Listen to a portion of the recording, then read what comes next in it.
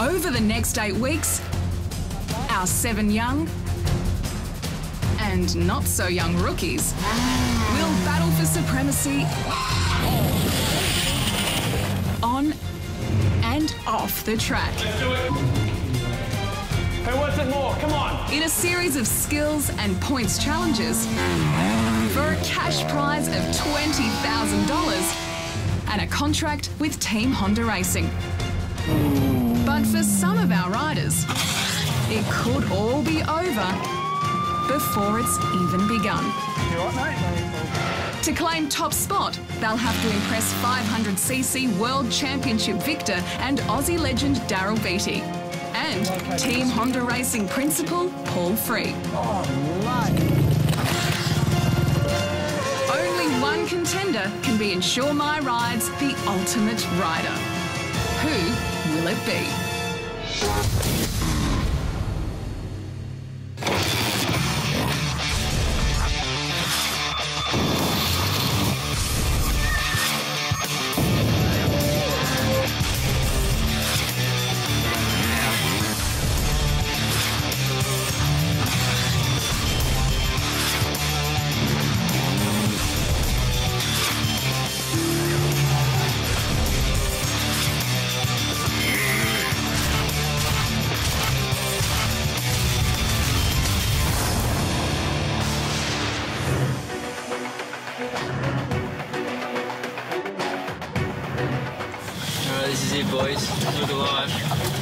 Melbourne, Victoria, our seven lucky rookies are making their way to Honda headquarters. Eager to start Insure My Rides, the ultimate rider journey. So, let's meet the contestants. First up, 39 year old father of three and magazine editor from Thornleigh, New South Wales, Sam McLaughlin. I've got uh, three kids, a six-year-old and four-year-old boys, and an 18-month-old girl. And to be honest, she's the most enthusiastic about the bike these days. The reason I'm here and doing this is, one, it's a good opportunity to show people that motorcyclists aren't all brain-dead morons that just like holding a throttle open at the horizon. But also, 20 grand would be awesome. Also from New South Wales, 20 year old Mangrove Mountain resident Glenn Scott has had his fair share of hard knocks. I lost both my parents to a motorcycle accident in uh, 2003 when I was only 12. I suppose there's no real words to, to describe how you feel when that, when that happens. So I've been racing bikes from about five. My mum and dad bought me a bike and uh, ever since then I've been sort of going away racing every weekend. When I heard Glenn's story, you know, I was speechless because I couldn't imagine losing my parents. You know, I think it's made him grow up. For his age, he's a very mature boy. Shy Kyle Buckley is just 17 years old and lives at home with his mum and dad in Eagle Heights, Queensland. On the racetrack, I'm not too aggressive, but um, like most Friday nights and stuff, I'm not out partying. I'm at home, you know, on the computer or with mum and dad, so things are pretty, pretty quiet for me. He's got a lot of potential, I think, Kyle, but he's just um, so reserved. I get very nervous and sometimes, yeah, don't know what to say and stuff, but um, no, it's definitely something I need to improve on, but yeah, it's good. From Dural, New South Wales, 18 year old Hellraiser Mitch Levy is an apprentice carpenter. Always happy, um, always up for a challenge. So it can be pretty determined at times and got a heap of good mates and just love having a good time. When I watch him ride, he looks like he's had a handful of energy drinks and a handful of lollies. The energy is there and he's full of it, but you need to be able to listen. Daniel Falzon is one smart cookie. He's currently studying biological science at the University of South Australia. I'm a bit different to other races. I went to an all boys private school and it was some of the greatest years of my life. I've loved every day of school. Whereas a lot of other races quit school early, I decided to stay in uni so I have a backup in case racing doesn't go the way we always wanted it to. Working class boy Brody Nolan is 17 years old and hails from Singleton, New South Wales. I used to have a habit of losing my temper a lot as a young bloke, but I think I've learned to control that a lot better. And instead of being cranky and losing your head, get your head together and go out and be better in the next one. To me, Brody seems a little lost and has no direction. And maybe he needs someone to steer him in the right direction and then he may accelerate.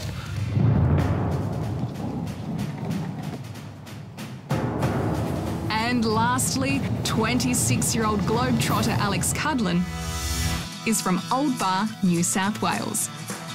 I met my now fiance uh, when I was 17, and you know we moved to England and started a career as a motorbike racer, and you know we travelled the world together. And um, at the end of the year, I'm actually getting married, so twenty thousand dollars would be quite nice.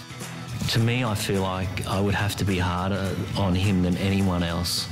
And that's because he's got international experience and he really wants to win it. He wants that $20,000 and a ride with Team Honda Australia. Congratulations.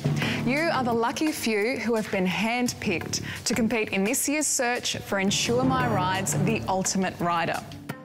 Each of you now has a one in seven chance of taking home $20,000 cash, plus a testing contract with Team Honda Racing.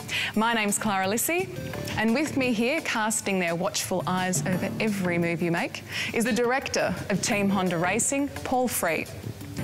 And a man that I assume needs no introduction, MotoGP legend, Daryl Beattie. Welcome, guys.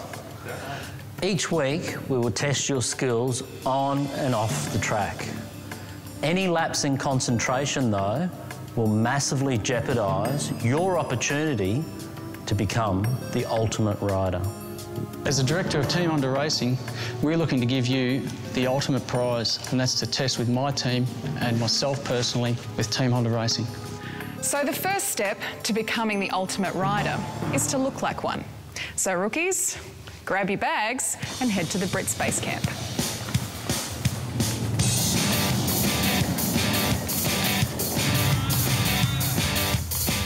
This will be the rookies' home for the next eight weeks, and the contestants are wasting no time settling in. Brought the family with me, Glenn. I hope you don't mind, mate. No, that's okay, mate. They're going right. Home? Right there. Uh, this is young Indy, 18 months. Jai at six, and Zach four. And my wife Beck. I'm not going to tell her the age of. Yeah.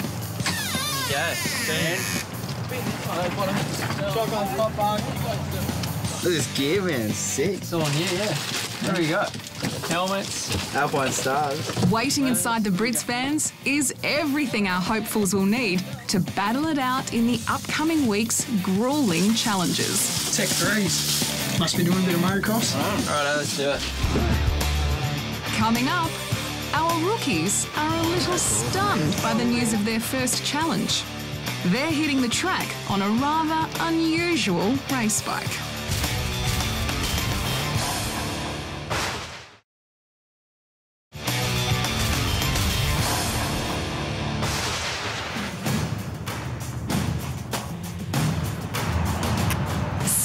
Have arrived from around the country in a race to be crowned Insure My Rides the Ultimate Rider. Over the next eight weeks, these seven rivals will fight it out in a series of punishing challenges that will push them to the absolute limit.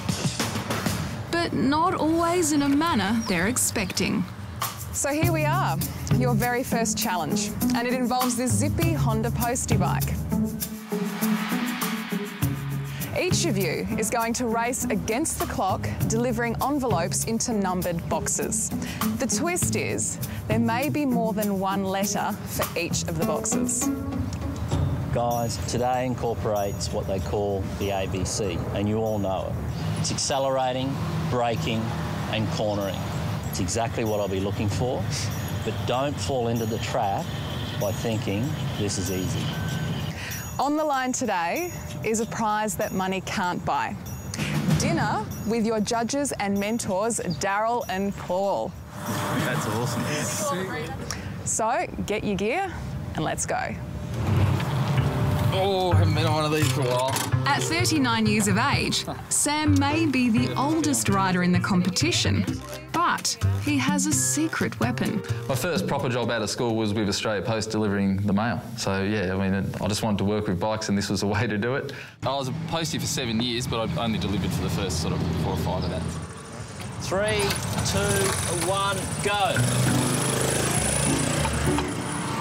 In addition to mastering acceleration, braking and cornering, this challenge also requires our rookies to remember a very complex course. And is he sorting his mail? Is that what he's doing? He's like a good ex-postie, postie should? He's an ex-postie. Oh. What do we call that? Ring a ring a Rosie? And he's missed that cone. Missed that one too. How did you think you went?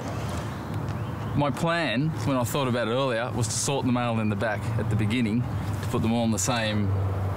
So I knew I just had to look for one group, and I forgot to do that until I got about halfway around. That was my master plan, and I stuffed it.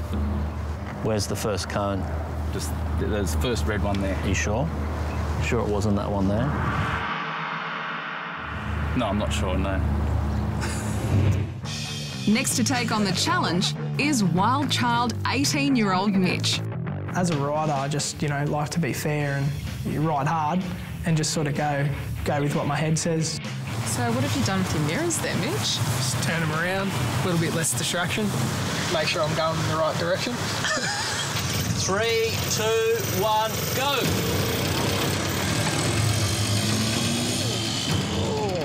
Mitch Levy's an apprentice tradie, and at times it just seems like he's loose like a tradie. You know, he is just unbelievable. Each competitor is racing against the clock. But an incorrect delivery or a wrong turn will incur a penalty. So Mitch's strategy could cost him dearly. Oh, Mitch. That's what happens. Everything's a rush.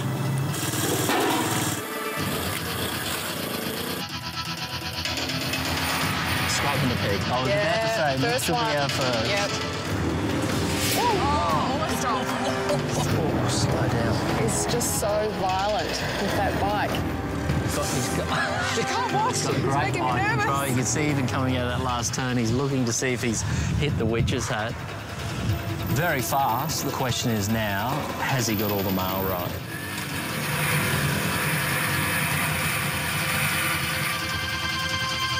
Mitch, have you ever ridden a Honda CT110? I have, You have? I have. Probably didn't look like it. We're going to get to know you really well over this whole challenge. Is everything always a bullet a go? Yeah, pretty much.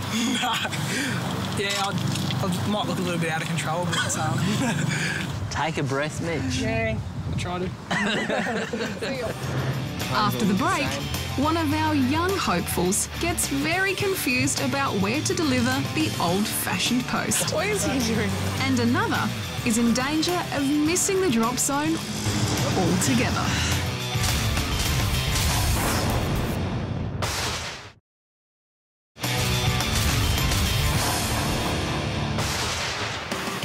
If you can't wait for more great action from the show, then thanks to Insure My Ride, head to our website where you can check out exclusive rider profiles, behind the scenes action, and much more. Plus, see Daryl Beattie tackle the Ultimate Rider test track on the 2012 Honda Fireblade. That one lucky viewer will win. All that and more at theultimaterider.com.au. Three, two, one, go. Seven competitors are racing against the clock to deliver the good old fashioned mail to a series of numbered letterboxes. How'd you go? All right. The quickest postie gets a huge head start in the competition. Dinner and the chance to talk tactics with judges MotoGP legend Daryl Beattie and Team Honda boss Paul Free. Thanks, Well done on your first challenge. Thank you.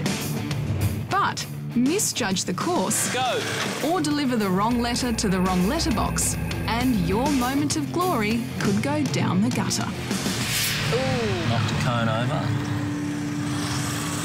Did you find it hard? No, I think it was all right. Next to face the challenge is painfully shy teenager Kyle. Kyle's a difficult one because Kyle doesn't talk. I'd like to see some aggression or some confidence come out and see him grow.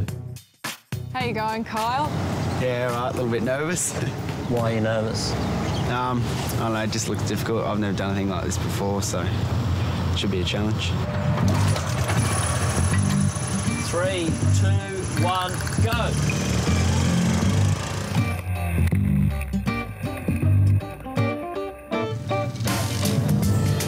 Kyle's the first one we've seen walk around and double check the numbers on the letterbox. Oops, what's he doing here? What is he doing? This challenge is a timed event. If Carl wants to win the reward dinner with Paul and Daryl, he'll have to pick up the pace. Time's ticking away. Okay, so it seems that Kyle isn't putting the letters in the right spot. Is that right? Yeah, well, he was putting up in the top, which apparently is where you put your newspaper. So we're going to be hard on him with that. Oh, we'll have to.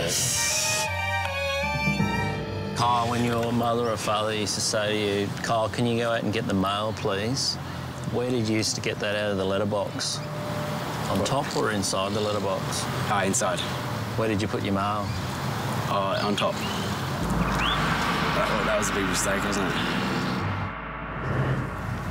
18 year old university student Daniel is the last to compete. And he normally puts a lot of thought into his racing. There's many riders who just go out there and just barrel into the turns and really don't uh, don't have too much of a think before they do it. And I kind of try to uh, plan out my race from the start. Three, two, one.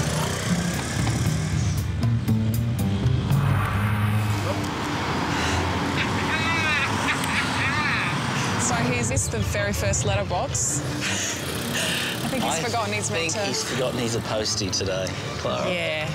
So how much of this task is it, Daryl, that's mental? It's He- not just riding a bike, is it? No, it's not, and that's where they're all struggling. But, you know, it's what I said at the beginning. Don't think that it's as easy as what it looks. So he's, he's missed the first mailbox and missed the fourth mailbox. He just went straight past it. Mm-hmm. Would it surprise you if I told you that you missed your very first letterbox? and that you missed that letterbox? I just completely missed it. Yeah. Didn't even see him. Just won't be having dinner with you, Daryl. Coming up, one lucky contestant is given a massive head start in the race to be the ultimate rider, when our very first winner is revealed.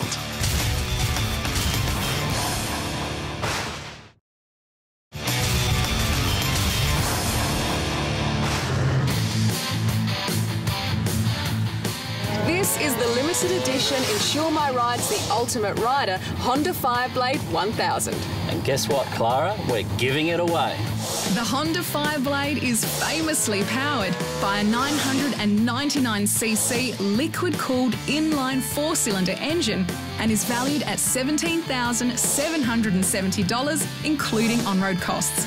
With brand new suspension, bodywork, instrumentation, and wheels, this awesome bit of kit is the actual bike Daryl rides in the show and is decked out in exclusive The Ultimate Rider livery, signed by the champion rider himself. You'll also receive one year's comprehensive insurance thanks to insuremyride.com.au, so you'll be completely covered. To enter this exciting competition, visit our website, theultimaterider.com.au. Get your entries in because you've got to have one of these in your garage. Good luck.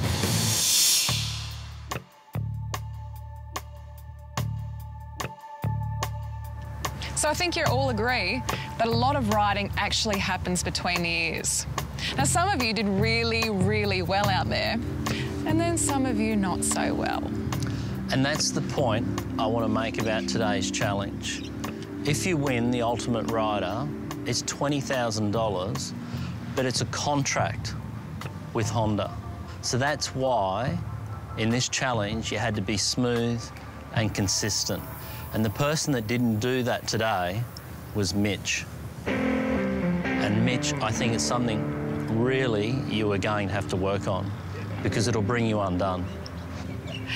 Well, for one of you, you only have one thing to think about, and that is what's on the menu tonight with Daryl and Paul. Firstly, I have to say, everyone made mistakes today. Everyone. But the best two riders were Sam and Alex. Smooth, did a great job. Guys look really, really good. But only one can go to dinner, and it's Sam. Well done, Sam. Does that surprise you? Yeah. Why? Because I missed the cone. So if that was a small mistake, what were the rest? Yeah, you guys must have clowned it up big time.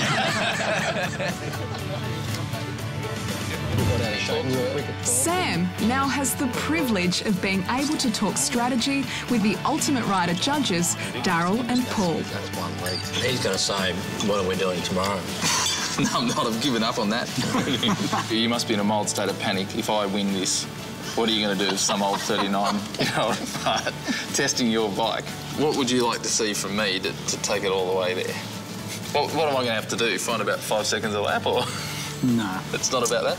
Yeah, I think whatever comes, if you end up testing my motorcycle, I'll be really happy to have you on board, mate. Thanks, mate.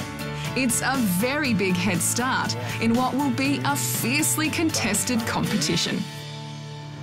For the most mature guy in the Ultimate Rider to come out, you know, top straight away, no points, but I think it's opened a few eyes. It's great to come first in my first challenge, but uh, replicating it's going to be another thing, especially those guys all fired up now.